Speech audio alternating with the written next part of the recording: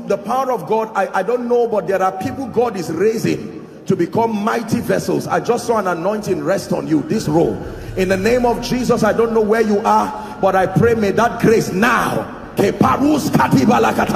let it rest upon you and shift you to a new dimension. In the name of Jesus Christ. Welcome to Christocentric Message. On this channel, you are going to get soul-lifting messages, faith-based content, prayer drills, and videos that would help you grow spiritually. Remember to subscribe to the channel, like the video you are about to watch, and comment. Don't reject poverty. Don't allow well-meaning people, whether they are preachers, businessmen, or whatever it is.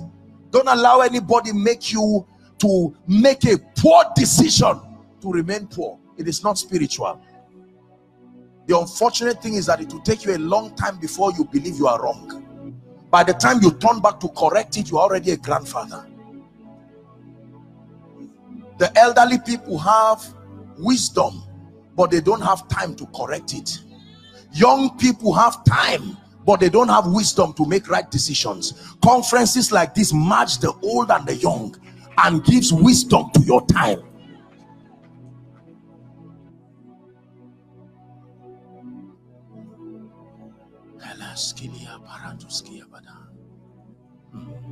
Are you blessed? So it is God's desire to prosper us. Let me give you three reasons why God prospers. Then I'll touch on one other thing and then we're done. Thank you, sir. Thank you so much. God bless you. Please pay attention. There are three biblical reasons why God prospers us in this kingdom. Number one, the first reason God prospers us in this kingdom is so that we can live a comfortable life. Please write it down.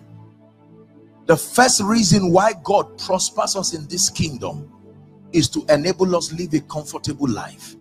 God is not against your comfort. In fact, let me pause here for a minute and and mention something here as far as the quality of living is concerned there are four realms as far as the quality of living is concerned there are four realms. The first and the last is dangerous. You shouldn't be there. The first realm which is the lowest is called survival. As far as quality of living is concerned there are four realms. Number one survival. Number two comfort. Number three luxury. Number four extravagance both survival and extravagance can destroy your life. Four realms of living. The least is survival then comfort then luxury then extravagance. Is God speaking to us? God desires for us to live a comfortable life. Please burn it in your heart and don't feel guilty about it. God desires for me to live a comfortable life. It is his will and I believe it with all my heart. The second reason why God blesses us in this kingdom and why he prospers us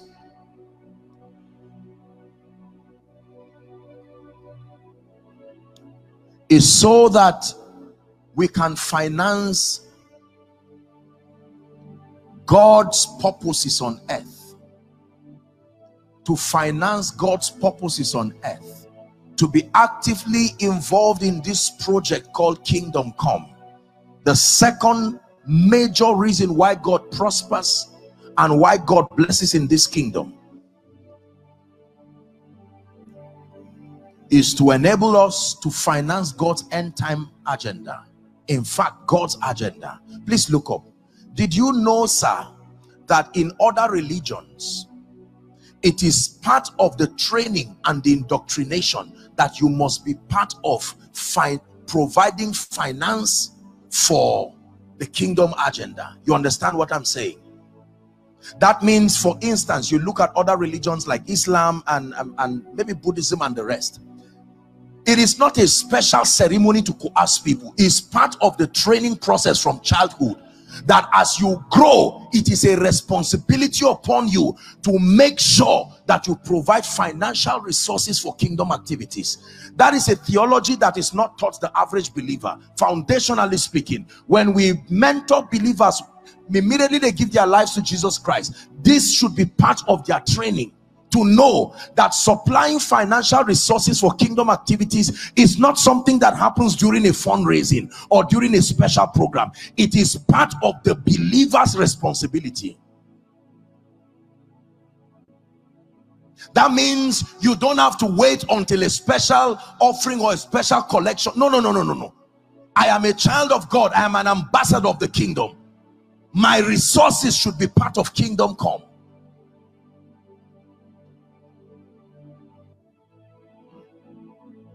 David was so passionate about building God a house that he said, Lord, I will build you a house. Even though you are in heaven, the earth is your footstool. You don't need an earthly place, but I can't be in this palace. I can't be this, and then you don't have a house. And God said it was a good thing. But your hands have shed too much blood. I will not allow you build. He said, still, I will gather the resources for my son to come and build. The character of love is that it gives. For God so loved that he gave. Your seeds. There are mission agencies. There are individuals. There is the house of God like this. I sat back and I watched, uh, um, I think one of the, what, what do you call it now? The, the clips. Skip him. Yes I was so touched, I was just waving my head. Look at the joy that was on the face of those children. Listen to me. The gospel is free, but the means to take it to the lost is not free. You have to understand this. Number two, this God that we lift is very heavy. It takes resources to lift him. Oh, we lift your name high. Think about what you are saying. It takes resources to lift him high above every other god so that the nations can see. We need the availability of financial resources. Number three very quickly why does god bless us in this kingdom? He blesses us to give us an opportunity to reveal the love and the compassion of the father to a dying world. To reveal the love and the compassion of the father to a dying world in a practical and a definite way to reveal the love and the compassion of the father to a dying world in a practical and a definite way. Very powerful definition. To reveal the love and the compassion of the father to a dying world in a practical and a definite way. Please look at me. God is not only the God of Christians, He's the God of all flesh. And Pastor gave a very powerful, powerful example, very powerful teaching before he went down.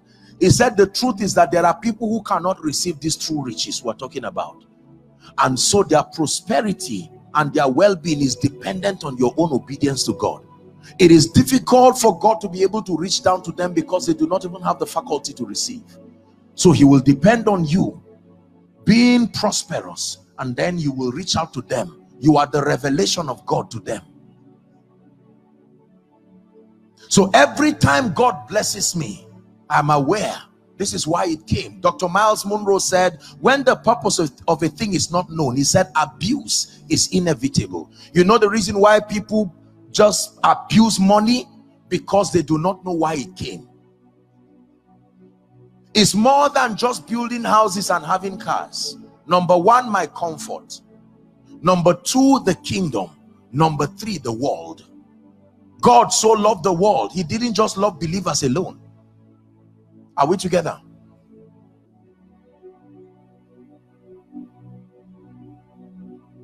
It is important I learned this very early.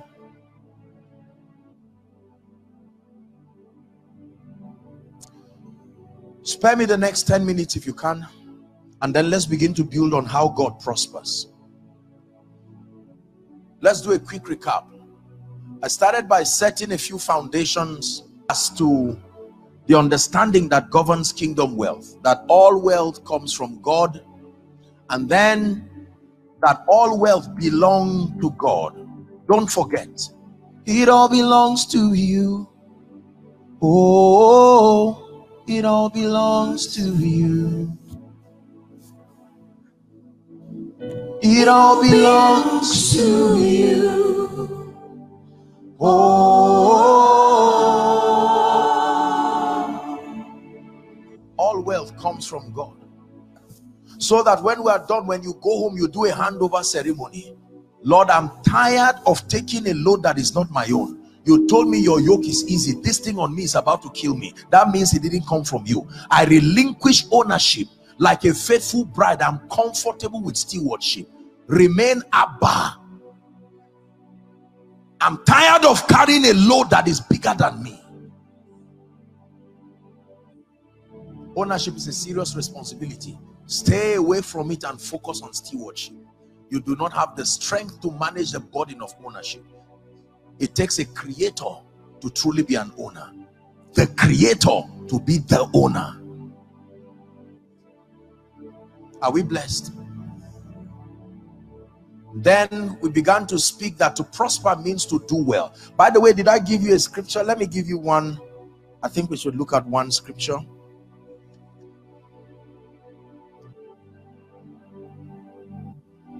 Your pastor made reference to it. Psalm 35, 27.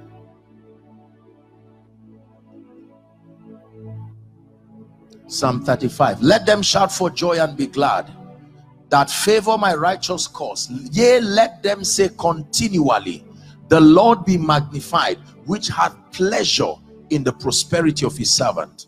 So God has pleasure in my prosperity.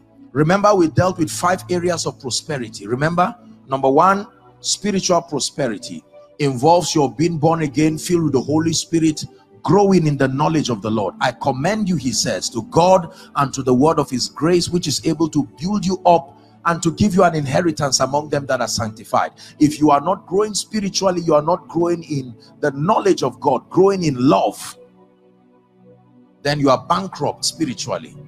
Number two, mentally, we spoke about that the development of your will, emotions, intellect, sustaining superior belief systems. Philippians chapter 2 and verse 5 the bible says let this mind the word let means to permit permit this mind this belief system to be in you which was also in christ jesus. The bible puts it in a very interesting way. It said these signs shall follow them that believe. That means i know what you believe by looking at what is following you are we together now? Yes. You don't drive what is following you. You change what you believe. What is following you is coming in honor to what you believe.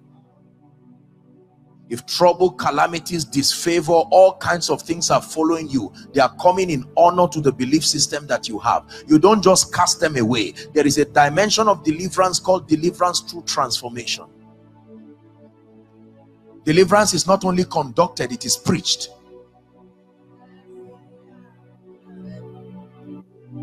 and then bodily prosperity your health don't forget. Freedom from sickness diseases yokes and all kinds of demonic things that plague our bodies. Financial prosperity freedom from poverty remember lack and the negative effects that come. There are negative effects jealousy anger all these things are effects that come with a life of financial bankruptcy. Then relational prosperity of course it's very important. Now, let's discuss the economic system of the kingdom. We're dealing with the laws of wealth and abundance. Let me just start by way of introduction and then we'll continue. Please, whatever you have to do, make that sacrifice as much as you can. Don't miss tomorrow's service. Praise the name of the Lord. The Lord is going to be taking us from one level to the other. Is God lifting someone already? How God blesses.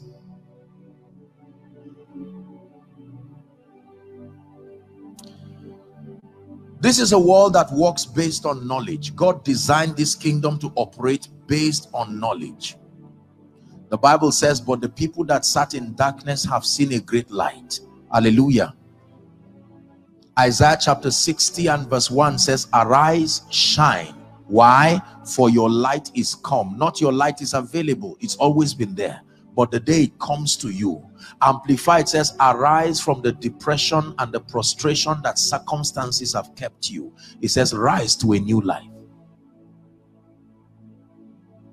For your light is come, and the glory of the Lord is risen upon you. Then it says, For darkness shall cover the earth. Same word used in Genesis chapter 1. Tohuwa bohu, confusion and chaos, and gross darkness the people. The people are darker than the earth. Darkness is upon the earth but upon the people is gross darkness. Then it says but upon you the glory of the lord shall arise. Then it says gentiles shall come. Hallelujah. Gentiles shall come. Not to you not to you not to you not to you they kept passing you when you didn't have light they didn't come to you there is something that will make them pay attention to you it's called light it's a product light Gentiles shall come to your light. While the Gentiles are coming, their arrogant kings have light, so they won't come immediately. They will keep studying you. But a time will come, like the Queen of Sheba, they will be compelled to see the excellency of your rising. They come not to your light, the brightness of your rising. Light is powerful. Please listen to me. The moment the light of God comes, liberty comes the moment the light of God comes, enlightenment comes. John 1 5. And the light shineth in darkness, and darkness comprehended it not. Oh, light is powerful. Believe me, light is powerful. Psalms 82 and verse 5 very powerful scripture. They know not the bible says neither will they understand. It says they walk on in darkness and all the foundations of the earth are out of course. Verse 6 says i have said ye are gods and all of you not some all of you are children of the most high. The tragedy next verse but you shall die like mere men and fall like one of these princes we must trust God for light illumination by the spirit. Are we blessed? So what you are about to learn now in the next do I have 10 minutes sir? Okay. Please let me 10 minutes. I apologize already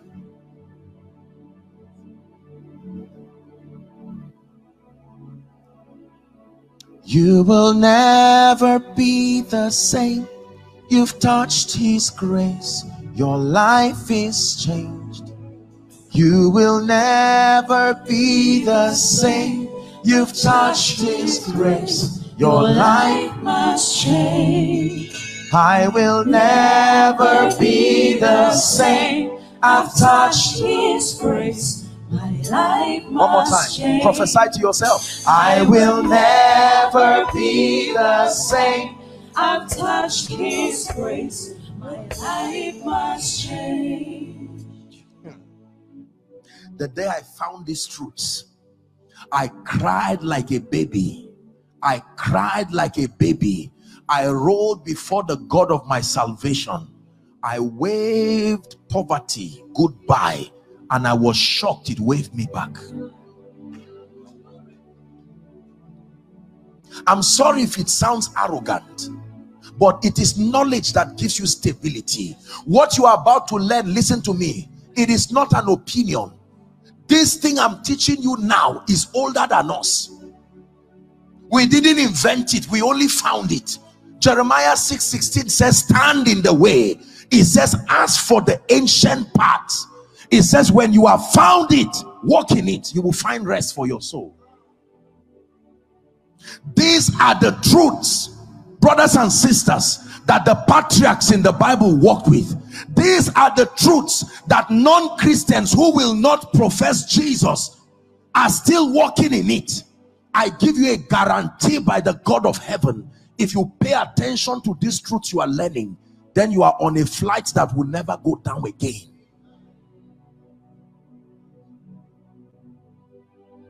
Do you believe what I'm sharing with you?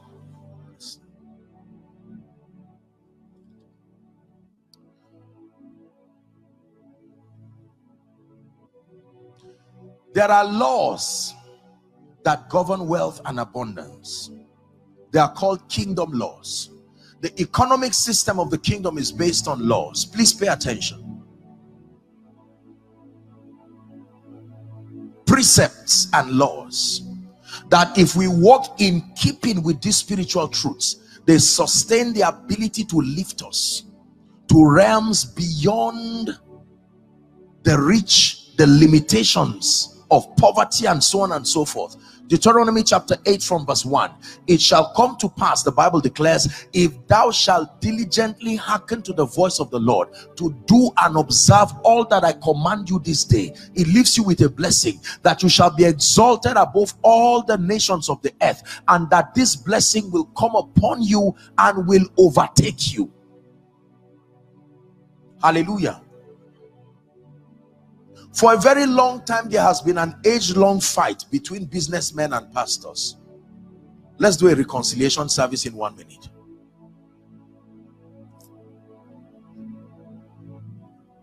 Business people claim that pastors and ministers of the gospel only focus on giving, tithing, and so on and so forth, and tell people to prosper and in truth many people have done these things and it doesn't seem like the kind of prosperity they desired came to them.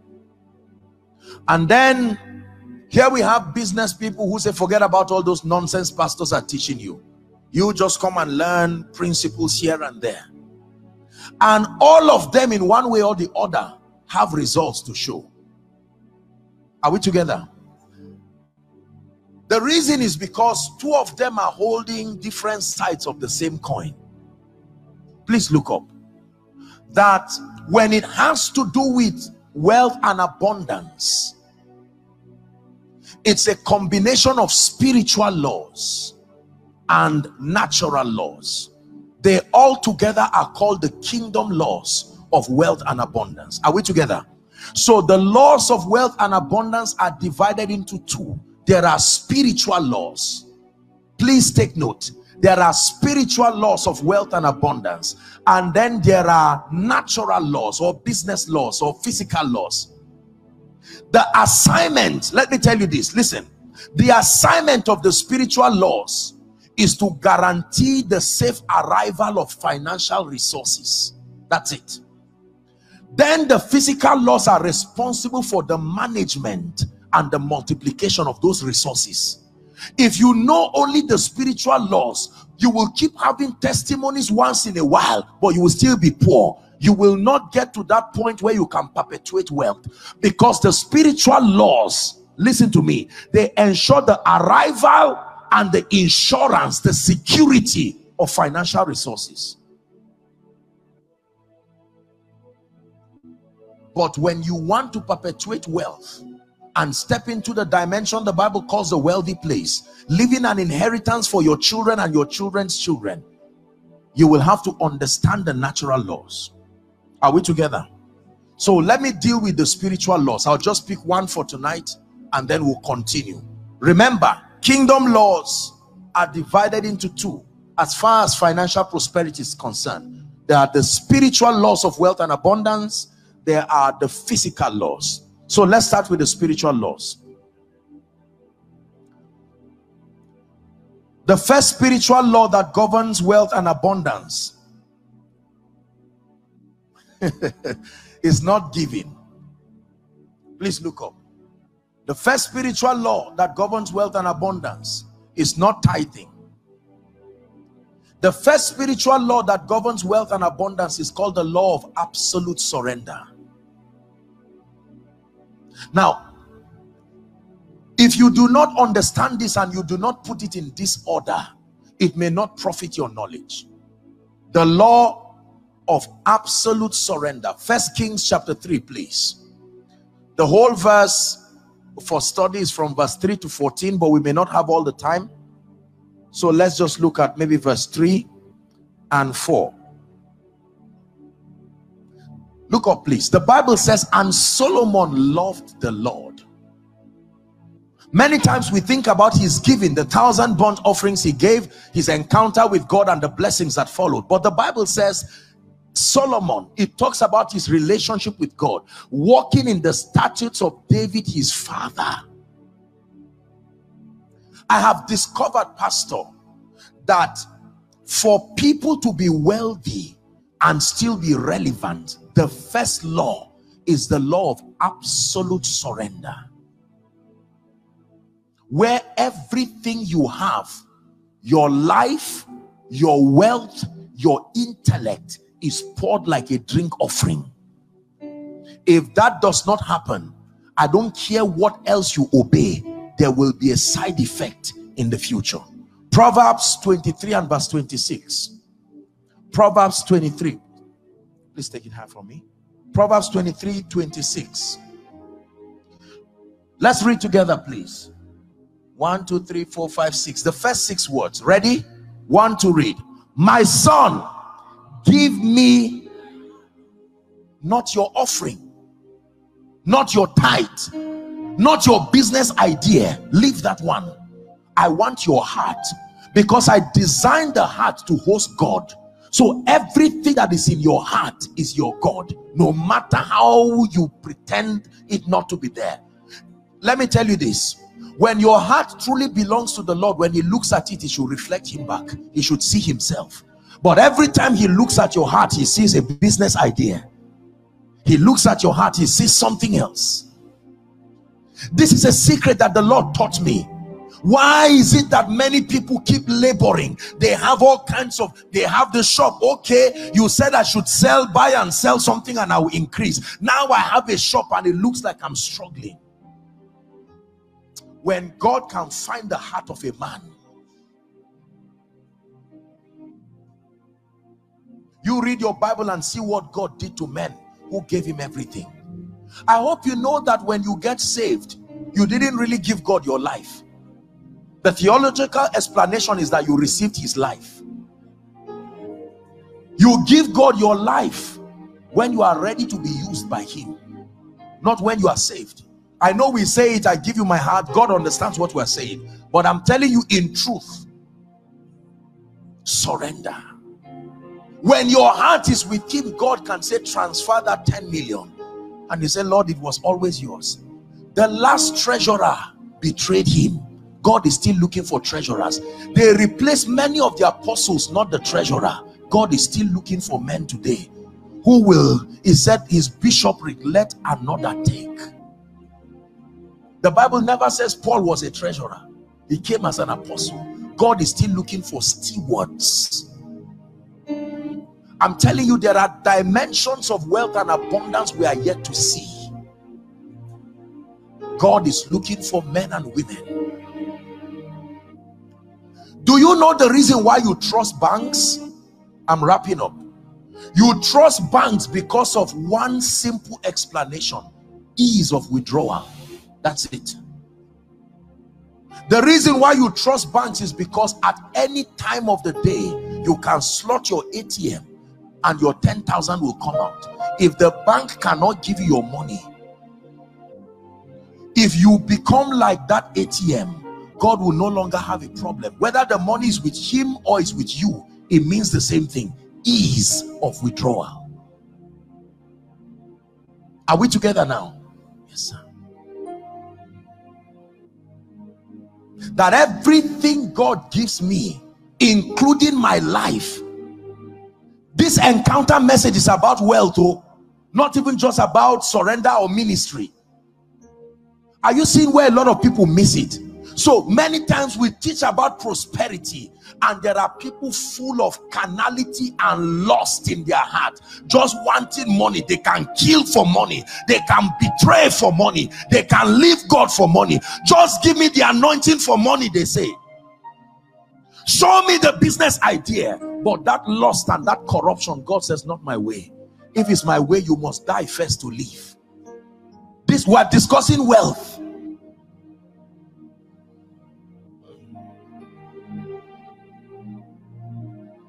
God is able to trust your pastors with the resources and the influence he's given them because he's found out that whether it's with them or it's with him he's still glorified. Please listen very carefully. It's a big secret i have found with god. If you don't give god your heart you have not started doing anything with him. Many of us bribe god. We come and give god a seed or give god something and then our lusts are still piling up there waiting for money to activate them. Do you know why god needs your heart?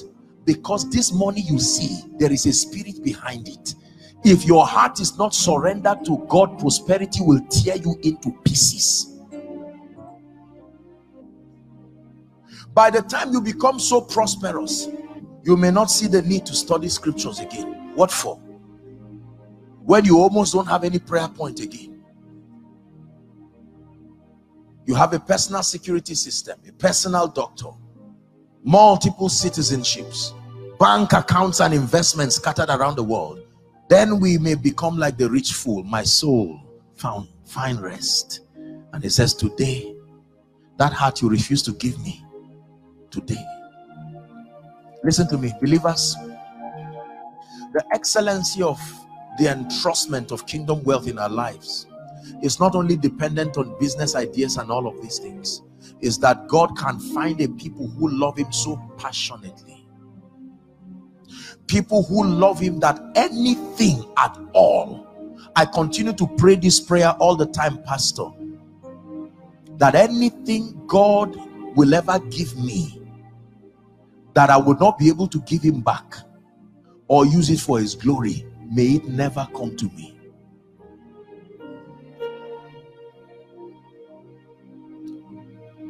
Minister Freckle Moore sang a song that really blessed me. It's been an anthem for me of worship.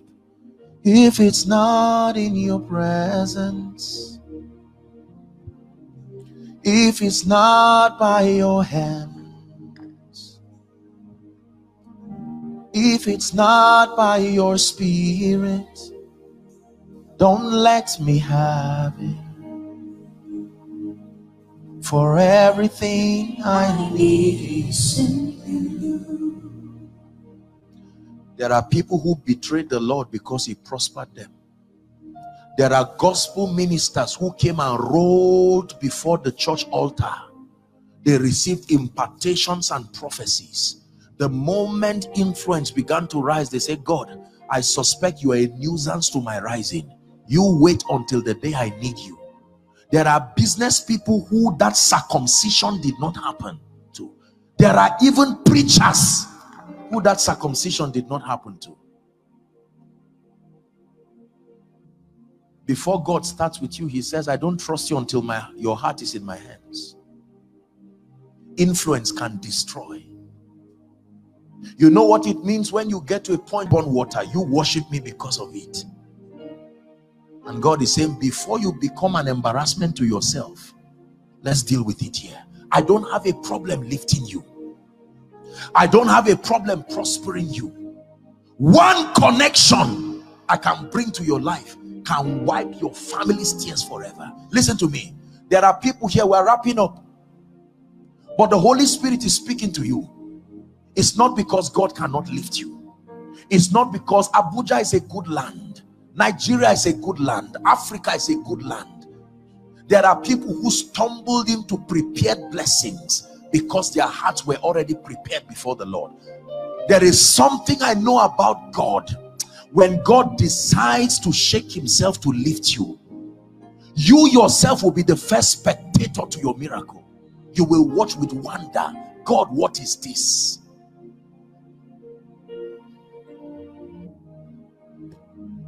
Listen, this is a prosperity conference, and many times it's very difficult to give testimonies. God with my life, and they said, No, we're not doing this emotionally. And I stood there, I said, Okay, what is the meaning of this? And then I remembered when you give God your everything, then He says, Now shift and let me show you what I can do don't think I don't know what I'm saying, my brothers and my sisters. Like I said, we live in a world where people misunderstand everything preachers say. So it's difficult to even share testimonies that challenge you. because people will be angry and there are people who may be mistaken this now for pride but i'm saying it so that you will believe testimonies were recorded that's why we have faith today it was in this city while i was in zaria a group of real estate people came and they said we enter a covenant with god that everywhere we build every estate we build in the world we must keep a house for you. Every provided we build an estate just know there is a house there. I have never gone to one of them to check what is there. Which one is my own? Because i gave him my heart. I truly did many of you watched the videos while i was in kenya a few years ago having a program and i'm about to i'm done just greeted everybody and i was on my way and the pastor calls me and a group of businessmen who were in partnership with the American government and doing a business. And they say, Apostle, the Lord led us to give you five properties in Kenya. I have not gone there. I don't know where the ground is. They said, choose what you do with it, whether it's to sell it. I said, God, what are you doing to me? What is this? So listen to me. For some of you who sit down and say, preachers don't know, just leave it to hustle. You keep suffering the way you are suffering. Or pay attention and let God show you the path that brings you out. Can I tell you this? I stand before the God of my salvation. There is nothing in my life day that I cannot give God, including my life. May God forgive me if I stand here and I'm lying before his people. There is nothing. Houses, nonsense. Businesses oh no no no. Why should i fear what people say? For they, they don't, know what you mean to me. We're praying some of you are seated here and saying apostle i didn't come from a family that had any privilege and I'm the first God wants to raise. You came here with documents about business, leave it. We'll discuss that one later on. What God wants this night is not your document. You have been throwing it. We are going to spend the next two minutes. I don't know how you will cry before God in this church and those following online. You've not seen a prosperity conference like this. I know you are not shouting up and down, but I'm showing you an irrefutable formula. There is a God in heaven who can lift. There is a God who can bless. He can take a man's prayer request and give you as a gift. This is a lover's affair. It's not just some selfish exchange between you and no. Is someone ready to cry before God? in one minute.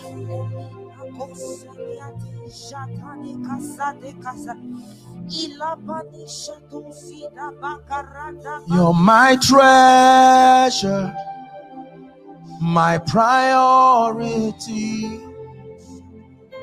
Who can compare to you? Great is the measure of your royalty.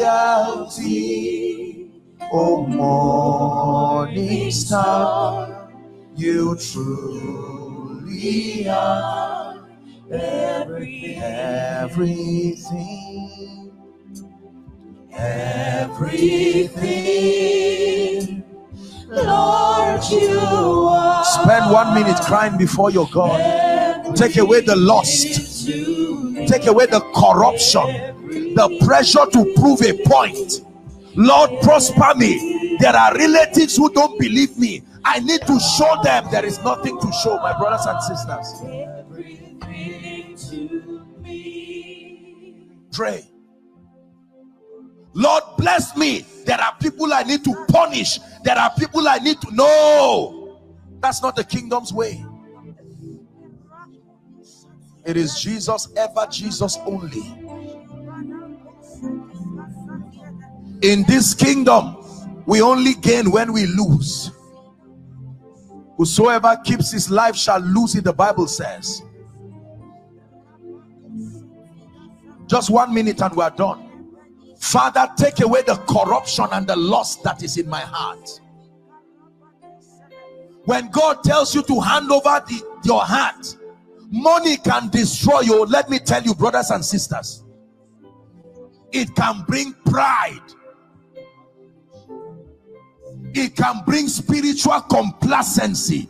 Prosperity gives you options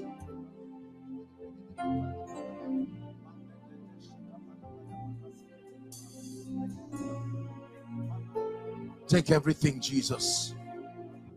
It is yours. I'm yours i'm yours. I'm yours forever. I'm yours, I'm yours, I'm yours. My life is yours, it's yours, it's yours forever. I'm yours, I'm yours, I'm yours. Whatever you ask of me, whatever you ask of me. I surrender. Let that be your anthem. Anything. Whatever you ask of me. Whatever you ask I surrender. Father, we are crying before you, the God of heaven you know our hearts. You know our lusts. You know our tendencies, revealed and not yet revealed. We pray in the name of Jesus that in this Kingdom Wealth Conference, let there be a genuine circumcision. Circumcise our hearts, oh God, so that you can trust us with tremendous levels of access to the resources of heaven. So that we do not become disappointments to ourselves and the kingdom on account of your blessing. Take our hearts oh god so that our prayer lives don't go down as we rise.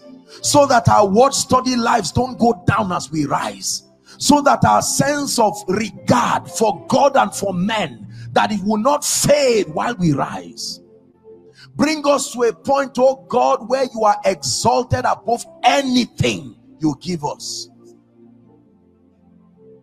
This is our prayer tonight.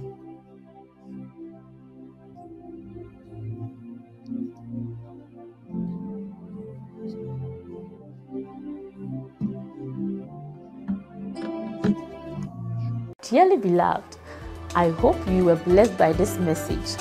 Do not keep the video to yourself. Share to as many as you can to help them bless. Check our homepage for more of our messages, subscribe to the channel, comment on it, like it. See you on our next video. Bye. Pray, pray, pray for your destiny.